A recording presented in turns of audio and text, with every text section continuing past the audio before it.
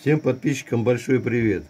Я хотел познакомить вас с одним интересным аппаратом, достаточно простым, для получения многих э, нужных вещей.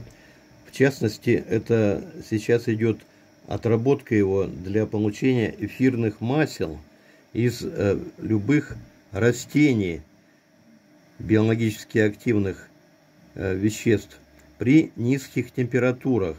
Вот сейчас процесс кипения на, на этом аппарате идет в, в, в диапазоне 47-48 э, градусов. А, видите, нижний э, банка, в которой стоит маслоприемник эфирных масел, он там беленький такой, а, загружается растительным сырьем, это может быть цветки, это может быть лепестки э, различных растений, из которых за счет прохождение через них пара и этот аппарат, а получается эфирные масла, которые собираются он в том нижнем маслоприемнике.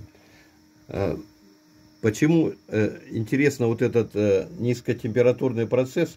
Потому что э, при этих температурах не разрушаются биологически ценные вещества. Все эти азулены, терпены и другие вещи, присутствующие наших растениях. Поэтому низкотемпературный аппарат. Также на нем можно получать э, сгущенное молоко, если внизу будет у вас э, залито молоко.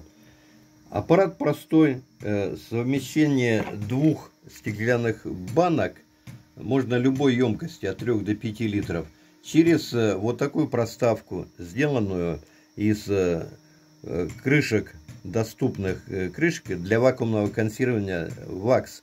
Если кому интересно, напишите. И очень легко разъединяется.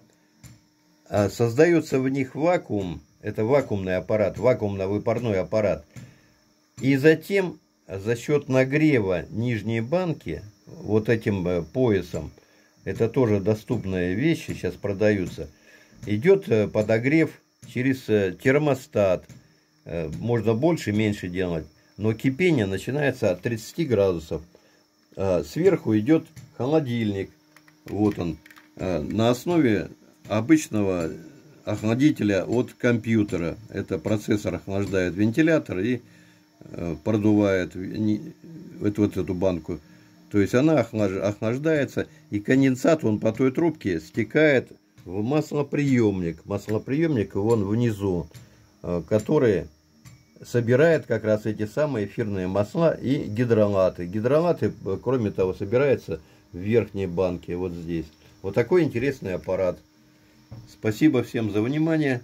Сейчас как раз сезон цветения и заготовки э, всех растений.